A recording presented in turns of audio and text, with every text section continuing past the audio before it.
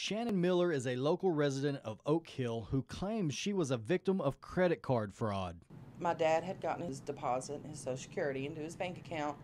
Um, we were running errands that day, and the tire on his car was low. What seemed to be a routine charge turned into every credit card holder's nightmare. So we scanned his card, I put air in the tire, and we left. Miss Miller recalls looking at her credit card statement a little while after her purchase at the Marathon station in Oak Hill. He was going through his account and noticed that there were two charges for a marathon, and uh, one was in Hialeah, Florida, and the other was in Fort Lauderdale. One was for like seventy-four ninety-nine. The other one was for seventy-nine eighty, and we're like, "What in the world?" Newswatch reached out to the local marathon, and we are waiting for their response.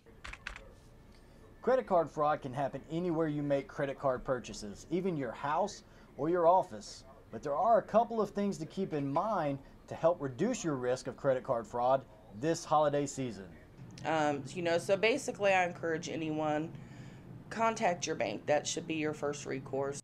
Experian defines credit card fraud as when someone uses your credit card or credit account to make purchases you didn't authorize.